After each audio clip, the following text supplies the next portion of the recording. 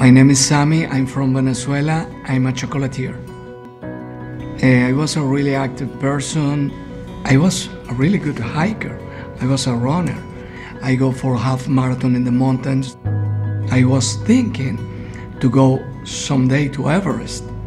I think God or life tell me, I will send you a, a mountain higher than Everest. In 2015, I was on a motorcycle accident.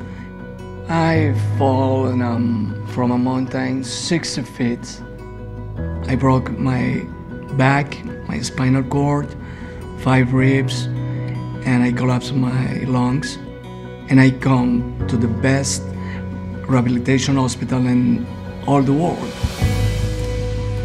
Every day I come here for therapy, and I love and like to push myself in all senses.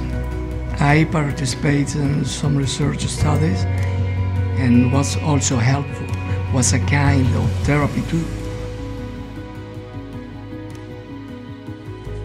I never think I can jog or bike again.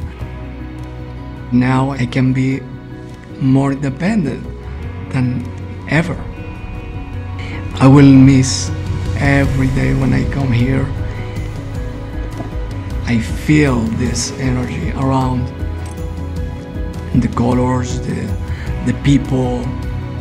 I will miss all the people who works here. You will take a part of my heart. I leave a part of my heart here.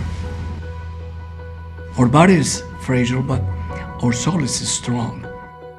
We must try to connect the soul, your brain, and your body push yourself and believe you can recover.